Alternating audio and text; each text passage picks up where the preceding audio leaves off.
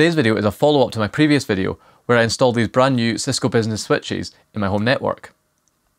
As part of that video, I, I, thought I would just quickly pop each switch open, take a look inside, and talk about it. But as I usually find with these things, I kept rambling on and on and on, and realised that while it might be kind of interesting to some people, it would be far too long to fit into that previous video. So instead, I'm releasing a separate dedicated video where we take apart each of these switches and take a look at what's inside. Now, I'm not going to go into too much detail on each switch because realistically, I'm not, I don't want to be taking off heat sinks. I don't want to be removing parts that risk damaging things because these are very expensive and I'm planning on using them. And I'm not an absolute expert on switch hardware, so if I refer to things using the wrong terminology, please forgive me. But I thought it would be interesting to take a look inside. And in particular, having already taken these apart, I've, I'm filming this intro after finishing the video. There's quite a few little interesting things I found in this, indicating some level of parts reuse between different Cisco switches. So yeah, it'll be kind of cool. So without any further ado, let's pop these open and see what's inside. And we'll start off with the CBS 350 12XT.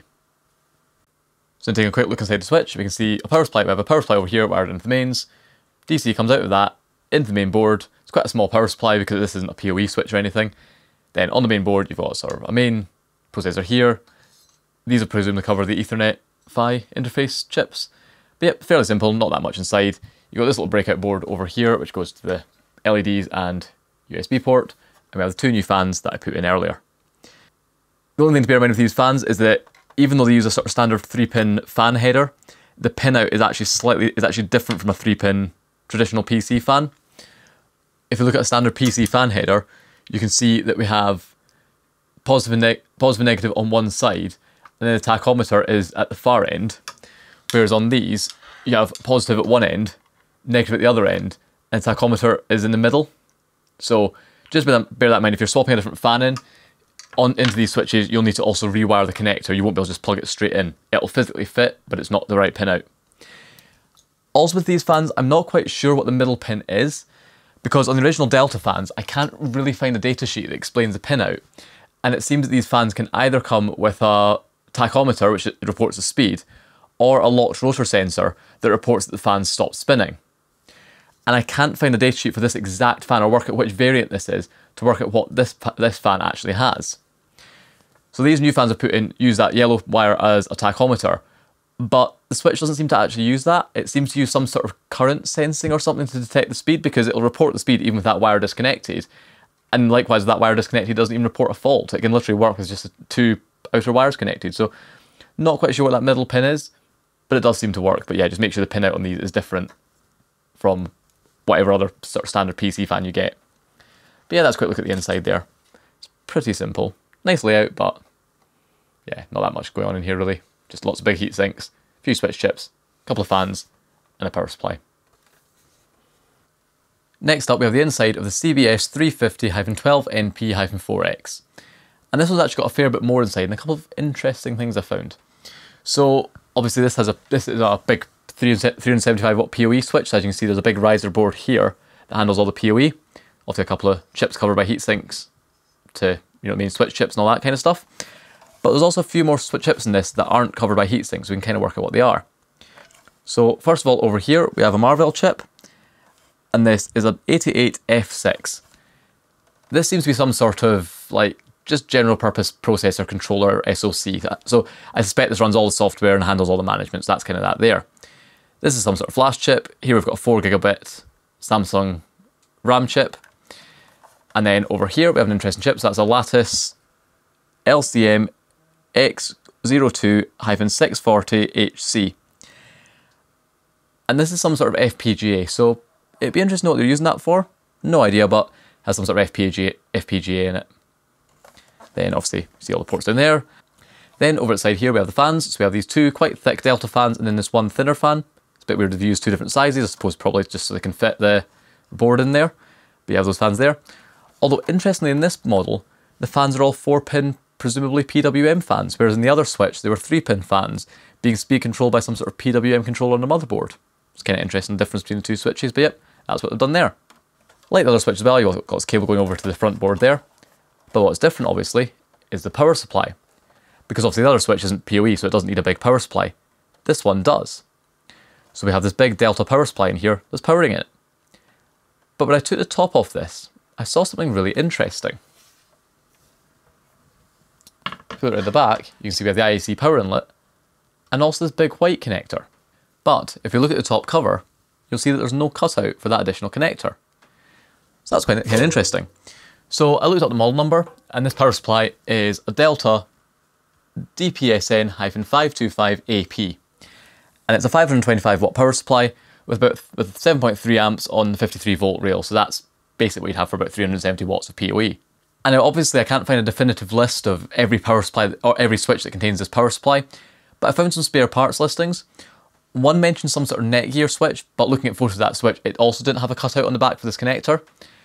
But I also found spare parts listings for this exact same power supply, mentioning the Cisco Catalyst 2960 switch.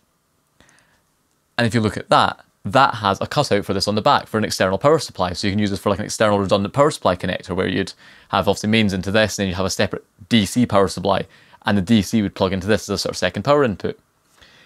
So it's kind of interesting that that's here and obviously they've covered it up because I presume the CBS line isn't meant to have external DC power inputs but it was obviously cheaper for them just to use this existing power supply they already stocked rather than making a custom one for this that doesn't have this port. So it does beg the question what that would do if you connected it. Now I am not condoning plugging it in or recommending plugging it in because I have no idea what would happen and I am not going to try that myself and blow up a 1300 quid switch. But it's interesting to know that that's there behind a bit of metal. So that's kind of fascinating. I'm glad I opened this one up actually because, yeah, it's kind of cool to see the reuse an existing power supply and just blind off this connector. The other thing to bear in mind when you open this is it's actually kind of tool free to remove this power supply. It kind of just wants to lift up and then sort of come out like that. So just bear in mind when you're opening it, it won't fall out. You don't let it this fall out. Well, actually, also after opening this up now, you can actually see the rating. So yeah, 12 volts DC, 11.5 in, 7.3 amp out. So now wondering, is this an input or an output? Very interesting. See that on the back there, because obviously those ratings are the exact same as the specs printed on the top. So I don't know if that's maybe an output. Really weird. If anyone knows, please comment, because that'd be really interesting to find out. But yeah, it's kind of cool seeing that. And then to put it back in, kind of want to just slot it in like that, fold it in flat, and then that's in there. So yeah, time to get this back together and get on to the next switches, which probably won't be quite as interesting. Next up, here we are inside the CBS 250 24T4X. Those model numbers are getting quite old. Um, so I've gone through and I've taken a look at what we've got and it's quite interesting. So unfortunately, I can't find any sort of photos inside the Catalyst 1000 series or the CBS 350 series of this same form factor. So it'd be interesting to know if anyone's actually taken one of them apart, how similar this hardware is to those other switches, because those, those are obviously higher end switches. Is the hardware significantly different or different, or is it just like a software difference? But yep, so here we are inside. So in the back here, you've got this little power supply. There's a part number on it there. It's made by some sort of company. That's a little open frame power supply there, 12 volts, 2.3 amps. Then obviously over here you've got the main switch chip under a heatsink. I'd love to take it off and show you. I'm not going to do that, I don't want to break these. And then along behind the Ethernet ports, you've got a bunch of transformers and then these three Marvell chips. And these are have a model number of 8AT1680. And they're 8 port transceivers for gigabit Ethernet, so you've got three of these to make up the 24 ports. I presume these being Marvell chips would indicate this is also a Marvell switch chip that would kind of go alongside those, but I'm not going to take it off. But yeah, that's what you have there. Then looking over in this corner here, we see we have a MAX 3232E, which is an RS-232 driver, presumably for the serial port. And then up here we've got another chip here, which is a CY7 C64215, which is some sort of like USB controller. I presume they're using it to maybe drive this USB serial port because it seems to have various UART interfaces along with USB interfaces. So I presume it's driving this USB console port here. So presume something like that. Other than that, there's a little Atmel microcontroller here, which is a, just an ARM Cortex M0. And then quite interestingly back here is another FPGA. This time it's a Microsemi SmartFusion2. So they do seem to like their FPGAs in these. It's, it's interesting obviously because it isn't a super high-end switch, but they're putting FPGAs in them. Be interesting to know what they're using it for. I suspect this is also being used as like the main processor for this because this has like a little ARM type CPU in it as well, I think. It's kind of interesting. Next up in this corner we've got the switch chip, we've got a couple of companion memory chips. So up here we have a flash chip, which is a Spansion S34 ML0 2G200 TF100. I can't quite remember, I think that's about 2 gigabits or what, 256 megabytes. And then down here we've got a Samsung RAM chip, which is a K4B4G16, which is a 4 gigabit or 512 megabyte RAM chip. So yeah, I've got those there. That's really all there is for the chips in this, although there's a couple other interesting ob observations I've made. First of all, there's this big connector here, and I'm not sure what that's for. I suspect it's another sort of redundant power input type thing, because you can see it's connected right next to the power supply input anyway, and there's not that many traces going to it, there's just a bunch of like big traces going to multiple pins, which you would do if you wanted to carry high current. So I don't know if this would be designed for like a modular power supply. It's, it's interesting because it clearly looks like they obviously use this board in multiple switches or at least want the ability to do that. So I don't know how much this board is designed for this exact switch or if they do use it in a bunch of switches and in some of those it's got like a hot swap power supply so it's there or you'd have that breaking off to a board that would go to a connector on the back panel and some switches. It's really interesting seeing all these little additional things they've put in. The board doesn't seem to be purpose built for this particular switch. It's also, also interesting to see this has some sort of bat battery in it. The other switches didn't seem to have that, so I don't know why this particular one does. Presumably it's got some sort of real-time clock.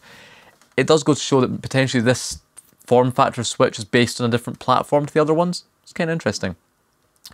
Final thing I've noticed that is actually quite good is obviously this is a fanless switch, but what they've done here for the SFP plus or the SFP plus ports is they've got these big sort of not so much heat sinks, more like heat transferers.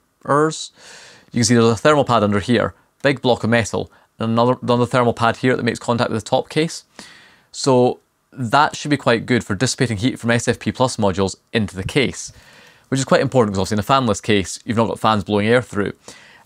And it does mean that you could potentially use sort of some hot running SFP Plus modules, potentially even SFP Plus to RJ45 10 gig modules. Those are known to run really hot. And I wouldn't maybe pack it with those, but the fact that there is good sort of heat sinking on the SFP Plus ports means that you you've got some sort of headroom there for having sort of high power or high heat modules in there. So yeah, that's look inside that switch. So now finally, let's take a look at the last switch. So finally taking a look inside the 16 port switch, it's basically the same thing. All the sort of chips, the FPGA, the flash, the RAM, all that sort of stuff is basically identical to 24 port switch. The only thing that's interesting in this is that the Ethernet transceivers have heatsinks on them, whereas the other ones didn't. So I don't know if these are maybe a different model. I suspect they might be because this switch doesn't have SFP plus ports, it's just got SFP ports. So I suspect it's potentially a different switch chip in there for different transceivers. I don't know. But yeah, it's kind of interesting. Although this is also an older switch. It's all the same product line, but this is about a year older in terms of manufacturing date than the other one. I bought it secondhand, obviously. Well, I bought it new in box, but I think it'd been like sitting as like a spare within the company for a while, so it's been like sitting in a cupboard for years. But yeah, it's kind of interesting to see those heat sinks. And then once again, it's interesting to see that we do have this other sort of card edge connector again. This must be for some sort of additional power supply module they may be used in other switches. It's kind of interesting. But yeah, that's 16 port switch there. Much simpler. So yeah, time to get all these switches put back together. And there we go. That's all the switches now reassembled. So hopefully you found this interesting. I wasn't really planning on this being a dedicated video, but as I usually do with these things, I kind of just kept rambling and then realised this was going to be far too long to fit into the video I was doing previously, so I made it a dedicated video. But you found it interesting seeing what's inside these. It's kind of cool how they've kind of reused power supplies seemingly from other devices, and there's like connectors that aren't used on these but might be used in other models. So it's interesting how they maybe had some sort of parts reuse there. But yeah, hope you found it interesting. And also stand by for the final video in this series where we look at my new Wi-Fi setup because that'll be really cool.